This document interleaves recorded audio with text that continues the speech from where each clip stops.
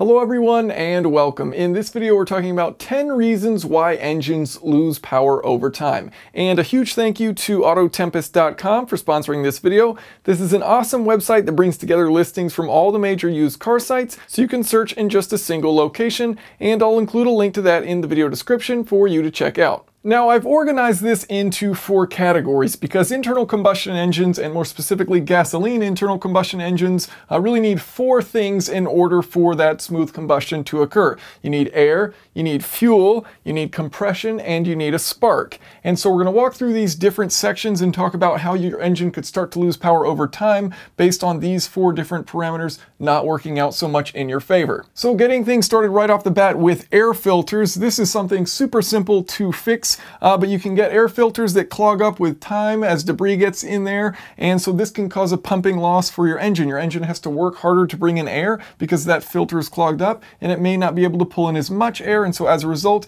you can't make as much power. Number two is the throttle cable, and this relates to cars with mechanical throttle cables. This cable can loosen over time. It's a super simple fix to just retighten it. It can stretch over time, and as a result, you may not be able to open your throttle all the way, and of course, if you can't open your throttle all all the way, you're not going to be able to get in all of that air, and therefore you're going to be making less power. Now that's talking about the intake side of it. Now let's kind of move to the exhaust side of it. The air, of course, has to move through that engine uh, nicely on both sides, so your catalytic converter can get clogged up over time from rich air-fuel mixtures, uh, you know, having the engine cold, things like that. Uh, uh, exhaust particulates can build up in there, and you know, the same thing can happen with your muffler, number four. You can have deposits build up in there, reducing and restricting airflow through your exhaust, uh, causing additional pumping losses. And you know, also these mufflers, uh, as they age, some of them can even rust and that internal piping can kind of fall apart. Uh, and as a result, it may not act as efficiently as it once did. Number five is fuel injectors. And you know, as a result of heat soak, as a result of using poor fuel,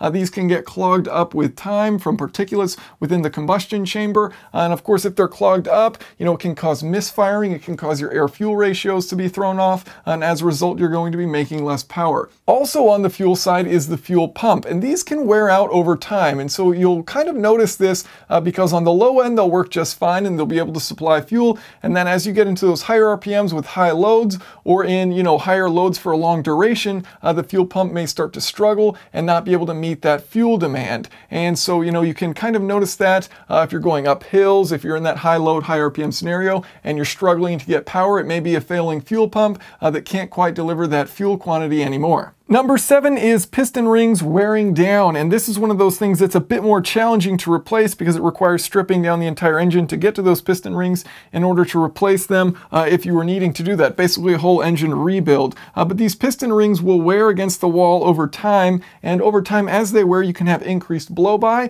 and as a result you're getting less compression. Uh, so one thing you can really do to help prevent uh, your piston rings from wearing is just make sure you stay on top of your oil change intervals to make sure that those piston rings are well lubricated against your cylinder walls. Number eight, and this one's going to play a big role in how much power you can create, and this is deposits on your valves, and more specifically, your intake valves. So over time, you know, especially in direct injection engines, which don't have port injection, where that fuel is being sprayed over the intake valve and constantly cleaning it off, uh, and you have your positive crankcase ventilation system, where you're sending oil back through your intake and then onto your intake valves, where it can start to build up those deposits on it. So this can cause a lack of compression because that intake valve may not be able to properly seat in that valve seat, and it can also cause backfiring. You know, as you're compressing back in, you may be able to squeeze some of that air and fuel past that intake valve and as a result you know you're not going to have good compression you could have backfiring if that uh, combustion is able to exit past that valve. And of course, it also plays a role with your air and fuel as it can cause additional restriction for airflow to come by and it can mess with your air fuel ratios. Number nine is spark plugs, and these can get fouled up with time from fuel, from oil, from carbon deposits,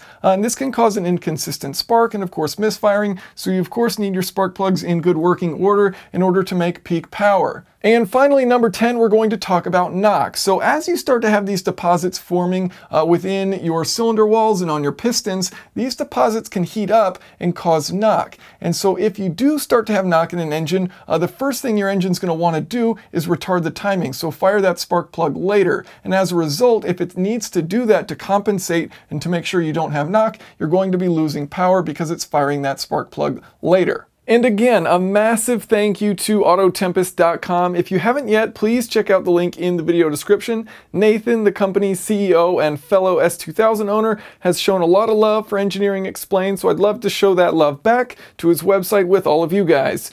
As always, if you have any questions or comments, feel free to leave them below. Thanks for watching.